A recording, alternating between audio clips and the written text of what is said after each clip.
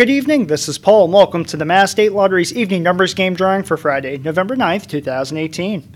Log back on later. Tonight's Mega Millions jackpot is an estimated $90 million. That's a huge chunk of change, so be sure to get your lucky tickets. Now let's take a look at the winning numbers 6899. Once again, the winning evening numbers for Friday, November 9th, are 6899. Remember to log on to masslottery.com to watch all of our drawings. Good luck!